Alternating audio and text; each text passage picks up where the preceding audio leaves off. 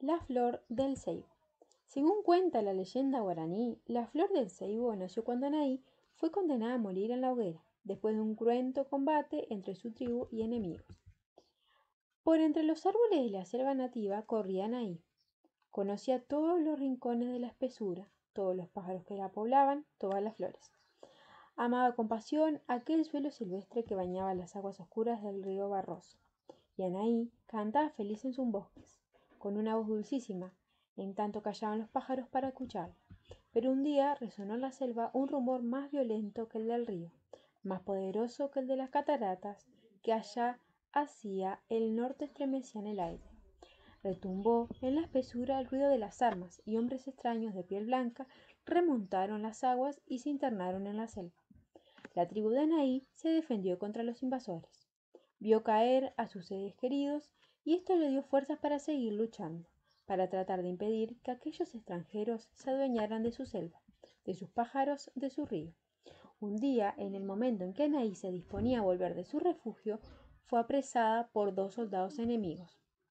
La llevaron al campamento y la ataron a un poste para impedir que huyera. Pero Anaí, con maña natural, rompió sus ligaduras y, valiéndose de la oscuridad de la noche, logró dar muerte al centinela. Después intentó buscar un escondite entre los árboles amados, pero no pudo llegar muy lejos. La apresuraron nuevamente. La juzgaron con severidad. Anaí, culpable de haber matado a un soldado, debía morir en la hoguera. La indiecita fue atada a un árbol de anchas hojas y a sus pies apilaron leña, a la que dieron fuego. Las llamas subieron rápidamente, envolvieron el tronco del árbol y su cuerpo. Ante el asombro de los que contemplaban la escena, Anaí comenzó de pronto a cantar. Era como una invocación a su selva, a su tierra, a la que entregaba su corazón antes de morir. Su voz dulcísima estremeció la noche, y a la luz del nuevo día pareció responder a su llamada. Con los primeros rayos del sol se apagaron las llamas que envolvían a Anaí. Entonces los rudos soldados que la habían sentenciado quedaron mudos y paralizados.